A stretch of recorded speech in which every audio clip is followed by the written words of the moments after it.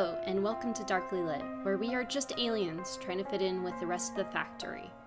I am your host, Kayla King. I'm joined by my other two co hosts. We have Sade Konbanwa. and my other co host, David. I, I don't know what you guys were talking about. This sour docks were actually pretty good. Mm. And welcome to the newest season of Darkly Lit, everyone. Woo! We're here. It's the first episode of our six part season. Yeah, the new format begins now properly. This is exciting. Uh-huh. Gracie agrees. Gracie didn't read the book though.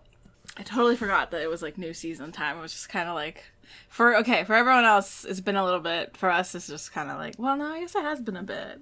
I don't know. Time is such a blur. Welcome to the new format. Yeah. Yay! And we are starting things off with Earthlings by Sayaka Murata. Notes can be found in the description about the uh, content warning for this episode. The story begins with our protagonist, Natsuki, who is 11 years old, and she doesn't really fit in with her family. I mean, it's more than that, but um, her parents are much more favorable to her sister, and they keep saying how useless she is. It's basically child abuse. I'm Yeah. not gonna lie. They put her down. They really treat her like shit, and she has low self esteem as a result of it. However, uh, she has a quote unquote secret. She has a plush toy of a hedgehog named, I forgive me for saying this incorrectly, Poyot? Puyut? it was uh, Piyut in the uh, audio. Pete. Piyut. Pute. Piyut. Awesome. I didn't listen to the audio book. I actually read it, so I appreciate that. Uh, so her hedgehog plush toy, Piyut, has come from the planet Poppin Po Poppin' pun Papia. papia. Poppin' pun papia. Poppin Pop Poppin' Poppin' pun pop pappy. pop pop pop. Sorry. Poppin Pop Pop Pop I, I was gonna I was gonna ask you about because I know you listen because I read it with more of a, a long O popit pop popin po bopia, It- but I guess poppin It was Poppin' Pon poppin in, in the, at least in the audiobook. Poppin' Pon Papia. poppin pon bopia Poppin' Pon Poppin' poppin pon bopia Poppin' Pon Papia. Poppin bon popia. Poppin' Pop Papia. I am keeping this all There's a in of B a in there though. It is. It is. I hear a It's- P. I I keep hearing poppin pop popia, and I'm like, no, it, what isn't it poppin pop pop bopia? So it's spelled P O P I N P O B O P I A. It sounded like it was all P's in the audio. So poppin pop however you want it. poppin it. pop bopia. Yeah, there we go. Yeah. Poppin pop. Platin. Uh, I'm gonna call it Planet Poppin. Uh, hey, hey, gang, this podcast is really popping off. and has said that she is a, a girl with magical powers, and it's her job to save the Earth. During a summer trip with uh, her family to um, the mountains of uh, Nagano, where her grandparents live in the forest, and this is basically our main location for most of the story, or like it's a very central location for most of the story. She tells her secret to her cousin Yu, and then Yu confides that he says, Funny enough, I'm an alien as well. And she's like, You are? And he said, Yeah, his mom always said that he was an alien. And the chief wonders to herself, Maybe you're from Planet Poppin. Now they're 11 years old and they're cousins, and she asks, like, Can you be my boyfriend? And he says, Yes. And when this first starts out, it's it's very innocent and cute. It doesn't get innocent and cute It doesn't stay that way long. after that summer, she in her hometown, she's dealing with a lot of shit. Oh boy. This i- like this gets tough. So, along with being abused by her family, she is also being sexually abused by her teacher, and there is a point where he does take her to his house and force her to perform fellatio on him. And she's 11 yeah it, it gets it gets tough people. Mm-hmm. And then this does affect her mentality and you can really see how much the world around her this forcing of what she says that everybody wants her to be part of this baby factory or factory and that she knows she has to fit in and has to belong. So they end up going back to nagano because her, her grandfather passed away and they have to go there for their funeral and it's there that um, she goes to see Yu and asks Yu to sleep with her. Again, they are 11. Well, I think at this point they're 12, right? Like this is a year later. Yeah, they're still 12, or they're still young though. Yeah, no, it's. I mean, I'm I'm not trying to split hairs. It's just I'm just trying to make sure the timeline makes sense. Yeah. So. I think uh, there is a point. If I remember that they ended up back in Nagano at one point because she they do a their own marriage ceremony. What it was is we're, when we're when we start the book, they're on their way to Nagano, and we have a brief recap where Natsuki asks Yu to be her boyfriend. But on this trip that we are starting with at the start of the book is when she's like, "No, marry me," and that's when they do their marriage little ceremony. When they go back a year later, not for for Obon for like the family tradition they do every year, but for the death of the grandfather, that's when she's like, "Hey, we gotta fuck." Yeah, basically because she knows that this they may not come back up here because again they favor her sister and her sister hates being in this location. And they spoil her sister and give her what she wants. And she says i'm afraid i won't be able to come back up here. And also because of all the bad mental treatment she has she wants to have something positive to remember i guess of sex so she does end up sleeping with him and unfortunately, the whole family catches them in the morning. And this causes drama to the point that she is taken away and her does not leave her parents' sight for like her whole like the her whole teen years. She's forced to go to cram school with the abusive teacher. However, Pute tells her that this teacher has been possessed and he needs to be saved then leads to what I can, what all of us can assume is her murdering this abusive teacher. I'll give my feelings on that later on.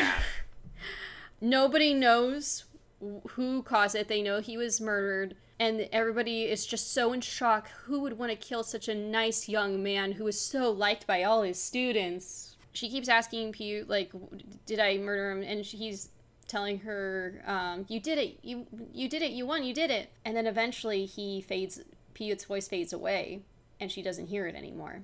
Uh, she grows up, and as a thirty-something-year-old adult, uh, we we do jump ahead. She is now married to uh, a man named Tomoya, who they're more roommates than they are an actual couple. She found him online and he said, "I uh, my parents are forcing me to marry. I don't want to have sex. I don't want to uh, live with someone, but I kind of just want to get married to get it over with." And that's what they do. They they meet once and then get married in a courthouse the next day, and her family is happy. Oh, good, our daughter has finally been married. Doesn't matter. She just met this man. now she can continue on with the factory, work and make baby except baby never comes and they keep pushing her to be like where's the baby? Why haven't you had made baby yet? Her best friend growing up is like why uh, i have baby. Why don't you have baby yet? Uh, natsuki tells tomoya stories of their uh, her childhood and about um, the house in nagano and as tomoya as someone who grew up in the city finds it finds it to be charming. And he asks his mother if he could go there and then that goes gets back to Natsuki's mother. But since enough time has passed since then, and they realize, you know what, maybe going on this sort of trip to Nagano might encourage them to actually, you know, make a baby. So that's why she, their, her family supports them going on this trip. However, uh, it turns out her cousin Yu, now all grown up, also is currently living at this cabin. So she, Tomoya, and Yu all live together and she admits to Natsuki admits it's like we're we're not really a couple. We're just husband and wife. But Natsuki actually did tell her about plant poppin and uh, the whole factory, and that Tomoya has come to believe that maybe he is an alien too, and that he is not of this planet as well. This eventually leads to more drama because he says, "You know what? I'm gonna tr- try and sleep with my brother just because, just to do something."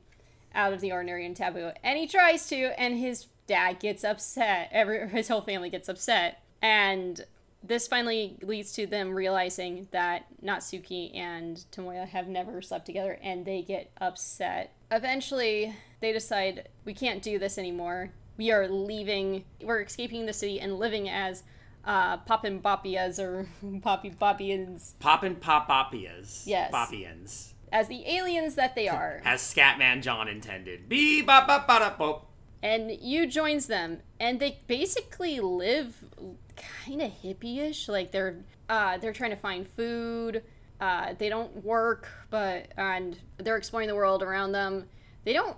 They don't even like really sleep together either. They're just. It's a very asexual relationship, even even though they walk around naked around each other. And before this, she had a conversation with her sister. Her sister kind of gathered that her that uh, Natsuki may have killed her teacher. Basically, it came out that she that uh, her old, her sister had an affair. She gets mad and tells the family, "Hey, well, Natsuki killed her teacher," and it leads to the teacher's parents to come and attack Natsuki at the house, and they end up murdering him and then eating them because they are hungry and need food. And they're like, "Well, they're not. We're not Earthlings. They are." This is a weird weird book. They end up like biting on each other and eating each other. And when they're finally found by the family, apparently all of them have swollen bellies and they say, We're pregnant. And the families are shocked and they're like, Let us go out into the world. And it ends there. This book is beautifully written and it's weird. it explains why the summary was like. I I could see you like I could see you sitting there trying to be like, how do I explain this? Yeah, it's there's so much that happens. Where do we even start? What do you guys think about this book? Well, you had started reading it before the the rest of us, um, and you had warned us like, "Hey, there's there's some incest stuff here," and I was prepared for the worst. I was not prepared for something so wholesome.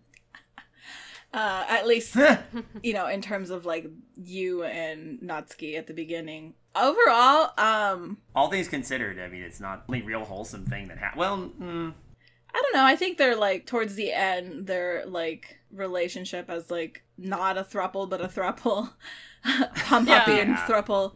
Um, it, it, it is fascinating because it's like they're they're technically a throuple. It's like they are in a relationship, but they're not sleeping together. they're all in fact divorced from each other. yeah. Um, no, I thought overall this whole book was cute. Um, it was not hard to me at all, even in, in like the murder. Uh, and there were some problematic scenes. Um, you guys both know though that I like explore a lot of content like that because I'm very fascinated by the human psyche when it comes to problematic content. So yeah, there there's there's some elements here that would definitely cause discomfort for like the general reader. But overall, the whole experience of the book for me was just like very cute and almost kind of like whimsical. Um, whimsical is definitely something that I think could be attached to a lot of it because you are seeing it from Natsuki's perspective, and Natsuki is like thinking she's a magical girl at the beginning, and again, we don't know, we can't really separate her from, we can't really separate the reality of the story from her because we're all seeing it from her perspective. Yeah. So it's very unreliable narrator. yes, for sure. It is. The, I guess the elements that are horrifying is the fact that she is to cope with all this trauma has distorted reality to such a level. And it was also if if you're like really interested in Japanese culture, this is definitely an interesting book. Knowing that it was translated originally from Japanese, because it speaks a lot to a lot of like societal expectations in Japan. mm-hmm. if you're beyond just enjoying anime and like actually like dive into Japanese culture a bit, there are a lot of like aspects of it that you start to hear about, but you don't really think about it too much as a foreigner. Like the the whole like there's that whole thing in Japan of like uh working yourself to death. Um I think they even have a name for it. It's like karoshi or something like that. You know, and you see images of like like you you get why like Tomoya is like I don't want to be part of society. Uh, yeah, no, it's, it was a lot of it was very very fascinating, and I overall really enjoyed the book. I, I knew this wouldn't be horrifying to say, but I, I didn't know if like I, I'm glad that you did find it interesting at least because I said it's like this is definitely horror. I know you and but I'm like but I don't think Sade will see it as horror. No. Psychologically interesting, yes. I, I do see it as psychological horror. There is a psycholo. It's just different from a typical psychological horror. Hmm. It gave novel. me there were certain scenes where it was giving me perfect blue vibes. Oh, yeah. Especially that that part where she was like repeating pop and pop popia, pop and pop popia, pop and pop popia. I was like, whoa, okay. Yeah, the, the whole part where she, um, everything goes pink, Yeah. and Piet is telling her to like destroy the, you know, you have to, to defeat the Wicked Witch to save the teacher, Uh-huh. And she thinks that she's taking her hand scythe and attacking what looks like a pupa, Mm-hmm. and golden light is spilling out of it while she's chanting, and the whole thing is her just disconnected and like ha- murdering the fuck out of uh, the the teacher, which was one of the best parts, honestly, because I love to see a abusive pedophile get fucking killed. It's not surprising, honestly, that he is someone that would be revered. Yeah, because he was like handsome or something. He looked good. He looked good. Natsuki's sister actually says, I saw him kiss you. And she's like, I don't remember him kissing me, but I guess he may have. And she said, And I was jealous of you because how could a handsome teacher fall for someone like you? God, yeah. And in my, it, it doesn't process in her brain that this is like a 20 something year old man kissing an 11 year old girl and doing inappropriate things to an 11 year old girl, which are not okay. But That's something to like realize it if for at least not to really excuse the sister in that moment, but also just to comprehend the fact that she was also a child. So when she saw that, witnessed her sister being abused, like so as a child she can't fully comprehend it. But like when Natsuki tried to tell her mother and her mother's like, "No, you're just a pervert. You must have perceived it wrong. Like, what is fucking wrong with you? Like, that is that's more horrifying."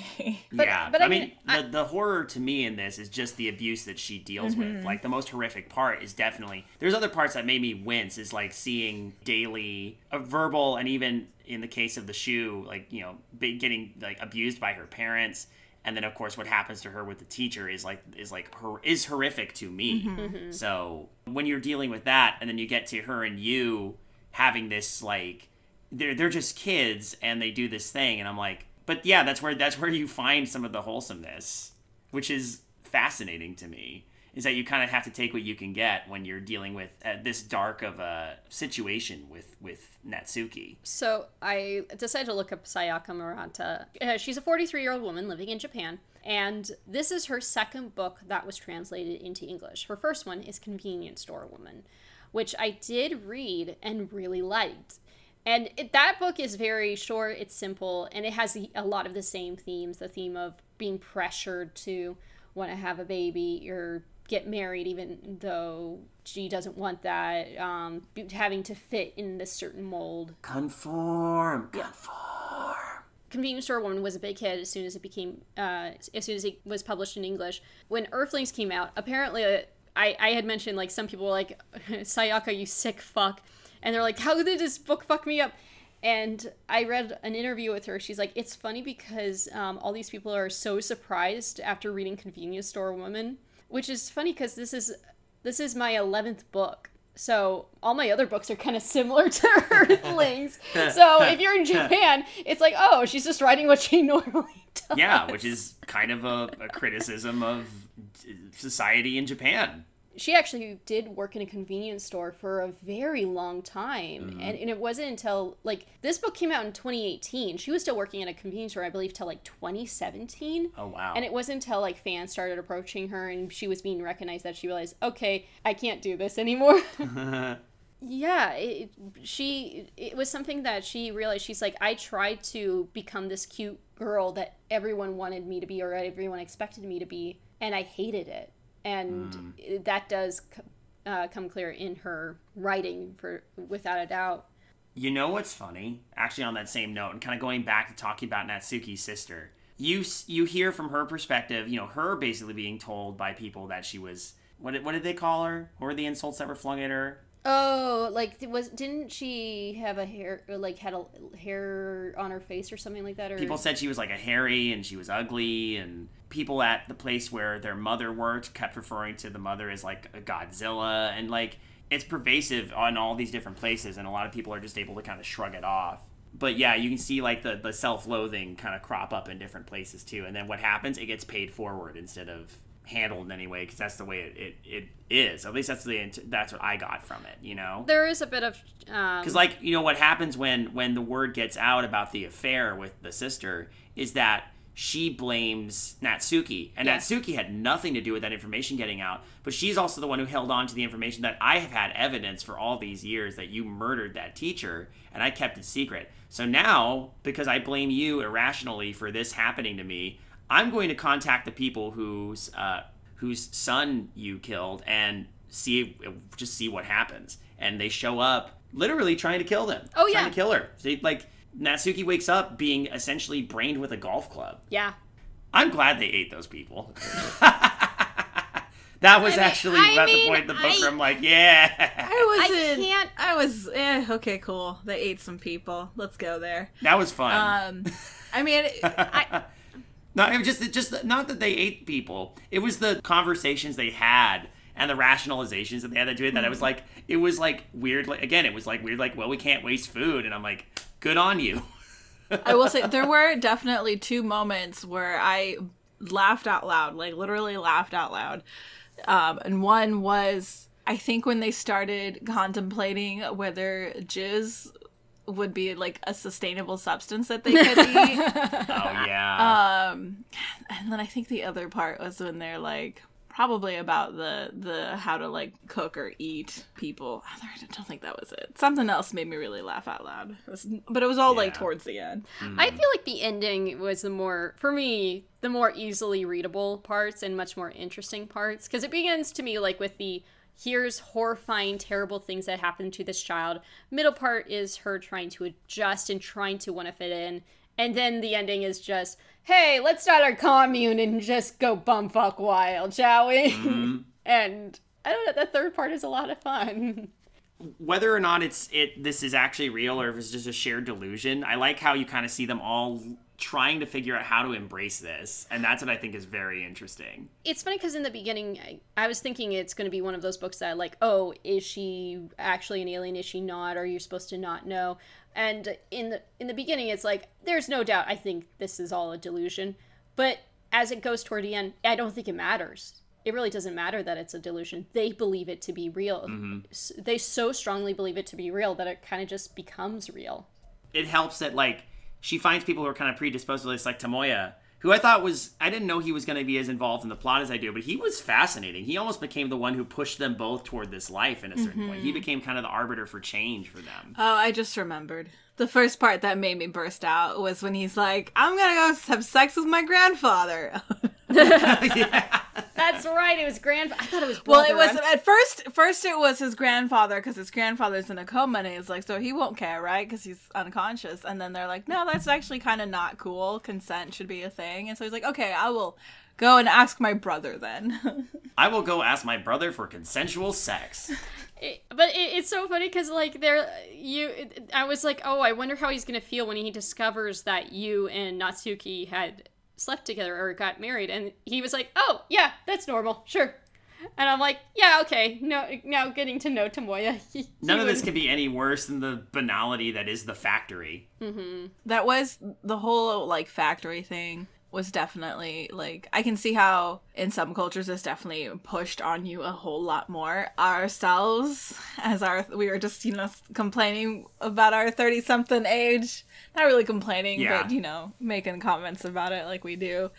Being at that age where you're kind of like expected to like have that job and the home and the kids, you know, and we don't. Like I think the three of us all have decided we're not having kids, right? And so there was a lot of like relatable stuff in that like, yeah, we're not functional components of the factory. And, you know, yeah not entirely our fault. Fuck capitalism. uh, I was looking up. I was trying to look up. Um, basically, I was trying to look up an article with an interview with Sayaka Murata about Earthlings, just to see her thoughts and feelings. And that I actually came across an article that says how Earthlings represents queerness. I don't think she intended this. I really don't think she intended this book. Uh, the idea of them being pop and bopias, bopians. I pop and pop and bopians. Pop pin bopian. Pop poppin' pop opians. there you go. I feel like that should like be in the description. Just pop and pop pop exclamation point. Um. Anyway, In the in, in this episode, we become poppin' bop pop pop it. Fuck. I had it. Poppin' pop opians. There you go. Someone made a uh, comment that like them trying to be pop and pop is kind of the same as people who embrace themselves as being queer and then now having to live in a world that doesn't accept them and decide, you know what, then we're just gonna live our lives outside of society. Again, I don't think she intended that at all, but it is an interesting thought. It's an interesting parallel. You could definitely, as like, if you're a queer person, ha- have had experiences like that. It could, yeah. That's another way that makes this narrative relatable. Now, I, I am grateful. I'm genuinely grateful that I don't have family members or in laws who are like, so when are you having kids?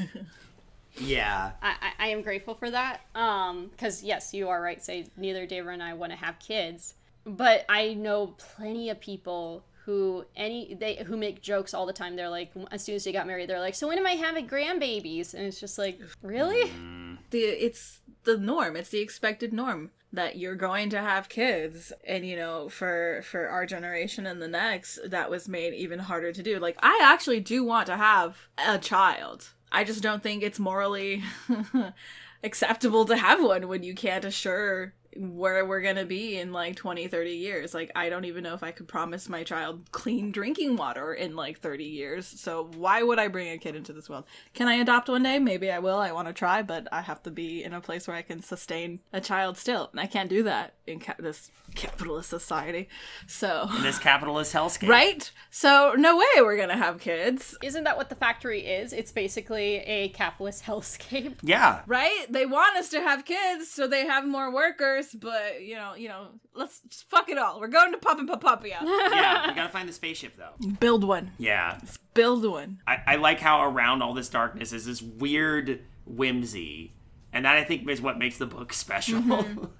I think the pop and pop. Honestly, it is the pop and pop pop pop pop pop part that makes that keeps that whimsy, or because it's the idea that they hold on to this belief that they are aliens from another planet. And it's the only reason that they can't just fit in. Exactly. like I, I feel bad because like while Yu is trying to like adjust to it and be like no this is just a thing from our childhood and yet brings up that thing where like well I used to feel like I could hear people's uh, voices ahead of time and just obey them like psychically and again you can't we don't know for sure if that's true or not with with Yu but like all of them to a degree and Tomoya very vehemently feels like we they, they both of them try very hard not to fit in they don't want to. Natsuki wants to. Natsuki feels like I would just be happier, be better off if I could go be brainwashed, but now I see that that's impossible. I can't live like the way they want to live, even though I want to, even though I want to just let it go.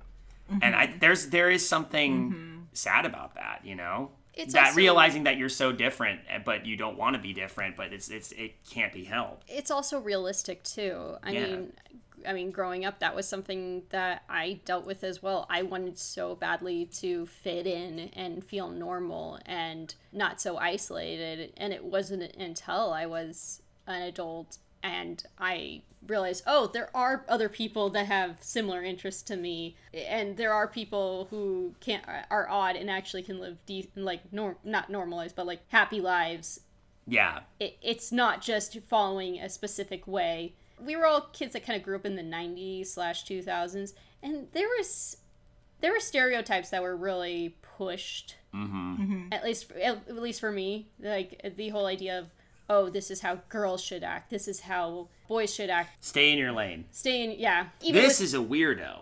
This is a jock. This is a Yes. labels, labels, labels, labels, labels. Oh gosh, the, the number of times when I would watch TV shows and I would I had glasses and this is a one simple form and everyone who wore glasses was always that nerdy character who everyone's like, wow, they just are so ugly and it's not until they lose the glasses that suddenly, oh my god, they're so attractive. It, so it, that was that whole like, wow, why can't I look normal? Why do I have to be cursed with glasses? And then I learned later on 88% of Americans need glasses. I, I looked this up. Sayaka's Murata is 43, and it was definitely more prevalent for her in Japanese culture when she was younger. Apparently, as time has changed in Japan, apparently uh, more women are in the workforce. There isn't really that push, but it's still there. It's still strongly there. I wouldn't say it's like gone away in the sense that it's like changed a bit. Because yes, there are like women in the workforce, but there's still like really strong image of like this is what's pretty and what's acceptable, and like you know they're pushed to conform. Because it's definitely a whole lot of like like individualism is such a big thing in the in like Western culture. Yes. But in Japan, it's about the group. It's about conforming to the group. And I've noticed there is pros and cons to individualism, and same with the idea of the group. mm-hmm. I always think about the stark contrast between Bioshock and Bioshock 2. the idea of ideals being taken to extremes. First game being about Ayn Rand's form of individualism mm-hmm. versus the complete abandonment of self, social call that's in the second game. Like it, it's probably why Bioshock Two didn't do it very well. It was very cookie cutter, rather than exploring the idea of like American exceptionalism and and bigotry that came in uh, Infinite later. Yeah. but that's that's something else entirely. I just I just think about that the the stark contrast there. One of the things about Western culture with individualism is yes, we're given the freedom to be able to choose our own path. However, there is that sort of you're on your own, figure it out yourself. It doesn't really have that community feel that Eastern culture has or other cultures have. Oh yeah, and some people, of course, believe in individualism until that individualism is something they don't like, and then they go, "Don't be like that. Be like us. Be individual, but in the way we want you to be an individual." That's yeah, that's also a problem here. I have a couple of questions from uh, readers uh, from our Discord channel. All right. If uh, you want to join in on these discussions, about, we do have book discussions. Uh, you can join our Discord by um, s- signing up for our Patreon. For specifically, it's Midnight Marinara, but this supports all Creative Horror Network uh, podcasts. So Don't be surprised if if that particular Patreon goes through a little bit of a rebranding uh, later on. I've got some plans. I kind of gotta keep them under wraps a little bit, but I got some plans that are going to be kind of formally announced and brought to the surface around October as we do Midnight Marinara's 10th anniversary. that's just an early like, hey, go support the Creative Horror Network uh, other podcasts. Yeah, We're doing that a bit early. Usually, I do this at the end. So Well, we might as well put it in there now. We got uh, obviously this show, Midnight Marinara, Undercooked Analysis, the Jameson tapes, and of course archive shows like Trick or Track and The Witching Hour. We have questions from our uh, one of our listeners, Bringer. Thank you, Bringer. First off, I need that ending explained. What a wild way to end the story. It's a very David Lynch kind of ending, in my opinion. it's vague. I'm actually curious why, because they're the families do comment like, "Why are your belly so swollen?" And their belief is that they're pregnant. When you have like really bad malnutrition, I think it's usually like like a protein deficiency. Your stomach will like retain like water and moisture and like you're you're just you it swells and you're so Yeah. bloated that you look like you're pregnant. Like if you remember those old I mean I'm sure they're still on there. I just don't watch cable TV. Those like ads of like you know, 10 cents a day will feed poor Yeah. starving child. You know how you always saw them with those bloated bellies? That's what it I- is. You know Because all they've been eating is people. That's right. I didn't think about that. David. Sorry, I thought David was joking that the children were eating people. And we're like, no, he probably means the characters. yes. Yes. Maybe Remember, that's feed the starving children because all they can eat is other people. um, yeah, so that's like an actual thing. So I think that's what it was. I remember those, but it, again, it's been a hot minute since I watched cable and saw those commercials. But uh, yeah, you're right. I completely forgot about that. That makes sense. Okay. Yeah. Because at first, I there was a point where I'm like, wait, is this like th- Sayaka being like, oh, this could be real? Like what? And then I realized, Part of oh, me wants to. Part of me wants it to be real. yeah, They Apart- did spend a bunch of time, as far as we know, like snacking on each other and apparently being no worse for the wear. In that scene, I don't think they were actually physically eating each other. I think they were just like licking and, and nibbling and, you know, Yeah. tasting each other. Yeah. Not actually taking chunks of flesh and eating. Yeah. I mean, I've kind of figured that was the case. It was heightened. We're getting, again, we're, we're hitting peak unreliable narrator at this point. Mm-hmm, mm-hmm. Although the I, there was one point where it said I, as I was gnawing on his eyelid, Ah. and I was like, oh, David. You never nod on uh, David's eyelid while smooching and stuff. Yeah, gnawing on my eyelid while I whisper sweet nothing. Yeah, exactly. He won't even let me put eye drops in his eyes. Ah. oh my god. no, they're mine. I would drive you insane if you were around when I have to pull strings out of my eyes. Oh. I wear contacts. Stop. I, I like I, I have I wear contacts. He anytime that I'm about to put um, my contacts in, he's like, nope, and turns around. I turn away. He turns away. Oh he my can't. god. Look, listen, I'm very paranoid about things happening to my eyes. I hate seeing things happen to eyes. Eyes are important. Okay? And then I'm always going after eyes and D and D for Yeah, some but reason. that's that's I can PG that image and just be like, we cut away, there's a reaction shot, we cut back. Creatures clutching at their eye. You know. I don't need to see the I don't need to see that Salvador Dali shit, okay? That scarred me for life. Fuck you, Salvador Dali. Fuck you. Oh, I forgot about that. Thank you for reminding me.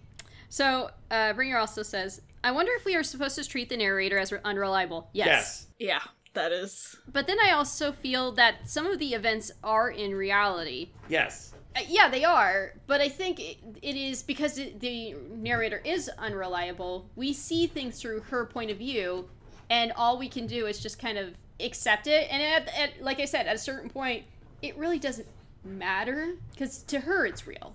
To them, it is real. Yeah. Why does the stuffed animal stop talking to her? I think it was a point in her life where she was maybe it wasn't working as a coping mechanism anymore because she was beginning to doubt like did i kill a witch or did i kill my teacher and i think it would became an easier way of like coping with what she'd done if she was just like i defeated some evil and pu is can rest now Yeah. Kinda. i don't know i think it was part of the coping mechanism Yeah, I, I agree with that, honestly. That was the way I saw it. Anyone want to try sourdough? i will try it I kind of do. the amount of like leafage that i end up eating just because we're stuff we grow at home Yeah, because we now have a lemon tree. we- I I actually use a lot more lemons when I'm cooking because it's so easy to pluck it and Yeah, lemons rule. yeah. And then he says, "What do you make of her taste coming back? Is this something that can happen, or has it always been in her head?" So this is definitely PTSD. Yeah, Her being able just to embrace this new life and to be able to fully escape what has happened, and even honestly, unfortunately, killing his parents and murdering them kind of takes away that connection that she had. in a weird way, it's if you think about it in a very like base level, it's like I have just I have inge- ingested the the bodies of of the those who birthed the person that took this thing away from me. It's Yeah. like conquest almost. That is actually kind of interesting because I don't, I didn't get the sense that she like really made that connection of like these are the parents of the man who took you know my sense of taste away. No, Yeah. But it is interesting that when she eats their flesh, she gets her sense of taste back. That is, I didn't make that connection. That's kind of interesting. I don't think she automatically thinks that. No, but- no, no. That's no. That's that's me imposing. Yeah. She doesn't stop Yeah. to think about it. She's just like, oh my gosh, I can taste. I can taste again. Mm-hmm. And then she doesn't think more than that on it. But from a psychological level, that's me literally in this moment going, aha, that's kind of interesting because there is that connection. It's not just anyone that she eats. It's the pedophile's parents. Yeah, that's true. And all the things that her reactions and things that happened to her after the fact, this is all very normal. Unfortunately, it's very normal things that happen Yeah. after such a traumatic event. Not to mention she gets her hearing in her right ear back. That's the other thing that happens too. Yeah. Oh yeah, because he whispered into the right ear. Yeah, and it apparently like damaged the hearing in her right ear, as at least as she saw it. That was a moment, a triumphant moment when that happened. I was like, however fucked up someone might perceive this, she is healing because of this experience, As weird as it is, she, yeah, she is healing. and she has you and uh, Tomoya to th- help thank for that too. And then he says, "This book literally had me hooked, as I had no inkling of what would happen next." Fair. I'm glad. You know, I'm glad it was hooked for you, Bringer. I actually read it all in one sitting. I was, I was hooked too. This was great. I really, we, we, we started off really strong, didn't we? Mm-hmm. Yeah. I listened to all seven hours of it yesterday. um, when I first started reading it, I couldn't put it down. But then there was a point I thought, okay, I have to stop. I thought I it would be one of those books that I would just read little bit by little bit over a course of time. But I realized, no, this is something a book that I will probably need to devour all at once. Yeah. Uh, pun intended. Um, hey, look, we're still a ways away from uh, Tender is the Flesh, but I still think about that book sometimes. So I read a third of it in the beginning, and then I read the other two for thirds about a couple weeks ago. So mm. we also have another comment from Dan. Thank you, Dan. I really love the story. I keep thinking about it. It was wonderful. It was brutal. I enjoyed the swabs of gray, the way the story toys with morality and gives very few clear stances on anything. Total freedom is both lovely and dangerous. I thought at a point there was going to be a more clear cut message, and I was glad that I was instead left with frayed edges and unanswered questions. I like when a story can skillfully present a series of circumstances and not overly moralize them or tell a reader how to feel. I don't know that anyone in this book was in the right for very long. Agreed. I liked how the author touched on being an outsider yearning to be brainwashed. I feel like that isn't addressed enough in media. There's plenty of I pretended to fit in until I came to terms with myself, but there's not always a legitimate, non judgmental presentation of desperately wanting normalcy despite oneself. To willingly stand in line for the lobotomy. Ooh, that's a. Ooh, mm. Dan. nice. He asks, What did you make of the silkworm themes? I keep think trying to tie things in the ba- book back to the silkworms, but I'm not sure if I was overdoing it. No, I think there's something to be said about the silkworms because there. So there is a silkworm room in the house, and it keeps getting brought up. I think there there is a parallel to the factory. The idea that the silkworms are brought in to feed and then you know produce the silk that and the only reason they're kept around is so they can produce the silk then eventually they hatch and fly away there's a metamorphosis angle to that too but you know then they breed more silkworms to keep the process going Ah. which makes a profit for the people who collect the silk so they make space for them and they set it up for them so that they can do what they need to do Okay, I can see that. I, I, that's the way that's my takeaway from it I don't know that much about silkworms. I'm not really. I'm not someone who studies bugs. I try to avoid them if I can. So There's definitely, like David's saying, a parallel of like you know silkworm breeding for silk and relating that to the concept of the factory. I was kind of also seeing it as like it was in this house where they house the silkworms, and the silkworms, you know, they'll go through their like metamorphoses.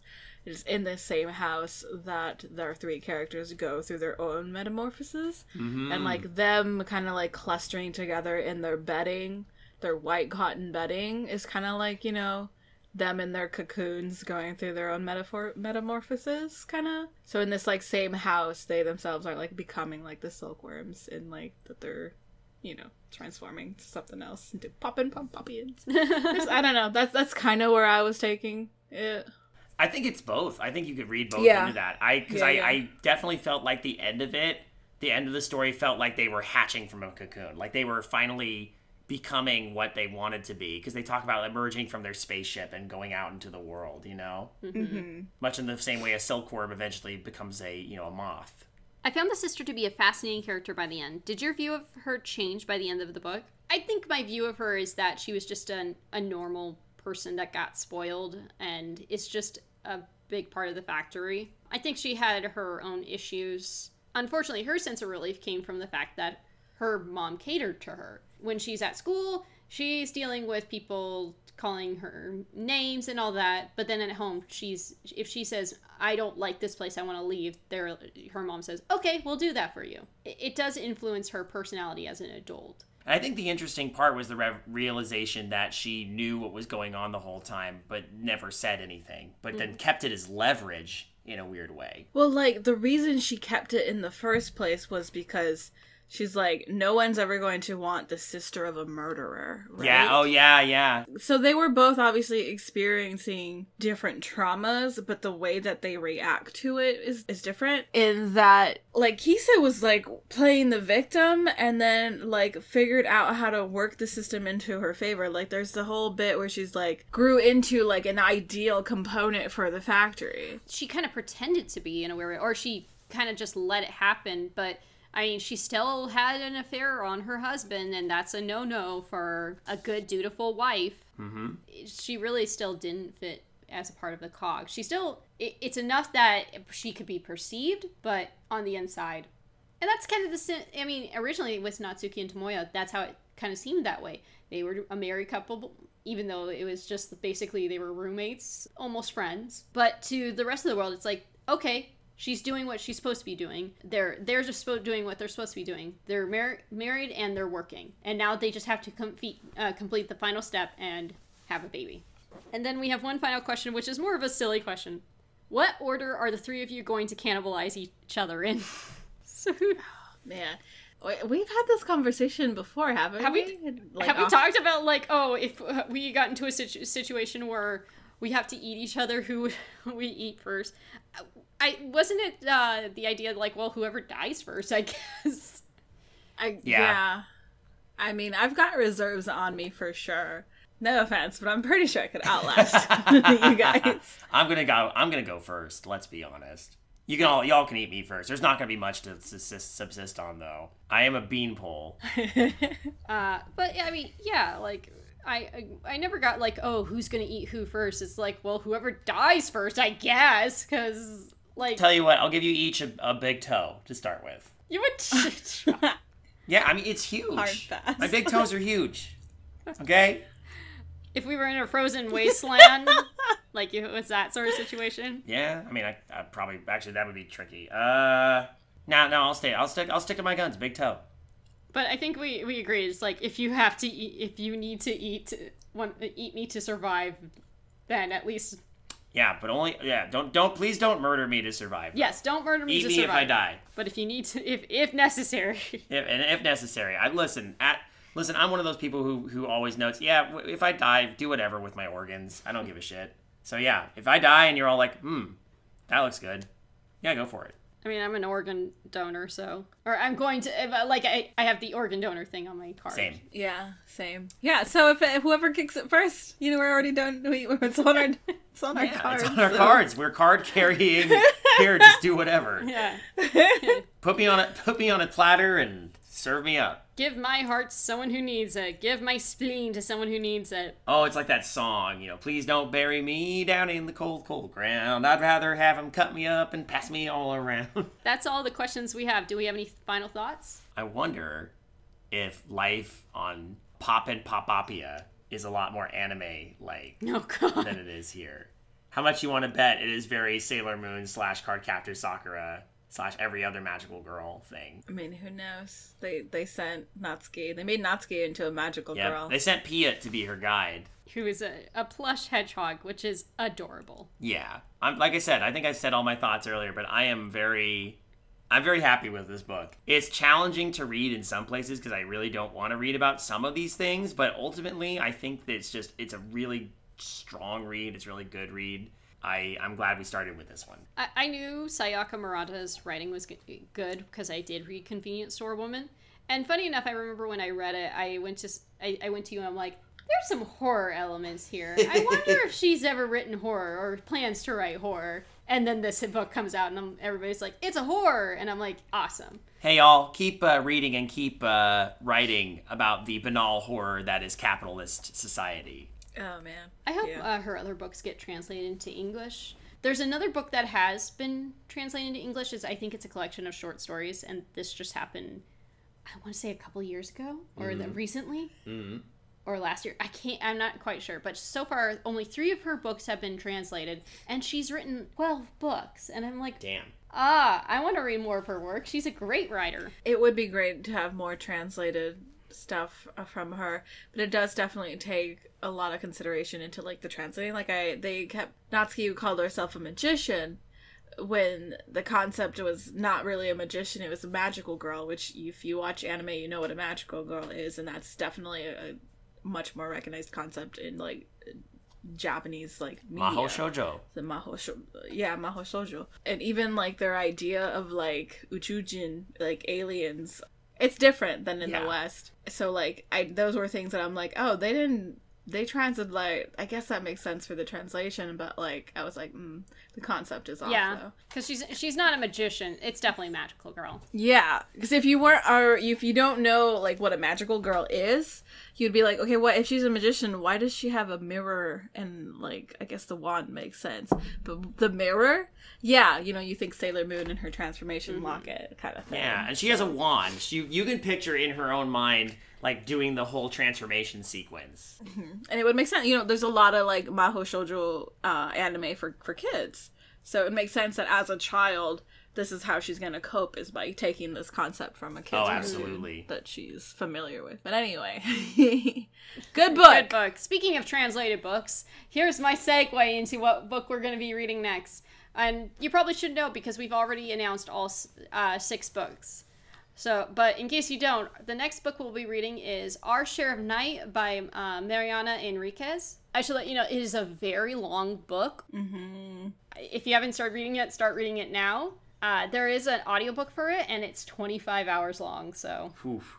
Dave and I actually bought the book. It's sitting very prominently on our bookshelf. I can see it right now. Yeah, and it's beautiful. I love the cover.